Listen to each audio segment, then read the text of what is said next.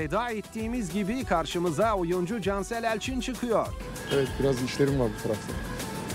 Peki nasılsın, neler yapıyorsun? İyiyim. Siz de Belli ki Cansel Elçin işlerini halletmek için evden bir anda çıkmış. Saçlarına bakar mısınız? Biraz da uykudan yeni kalkmış gibi görünmüyor mu? Evlilik nasıl? çok iyi gidiyor. Çok mutluyum. İleride bir çocuk düşünüyor musun? Bakalım. Ancak yine de hayranları onu bu haliyle bile tanıyabiliyordu. Teşekkürler arkadaşlar. Teşekkürler. sağ olun.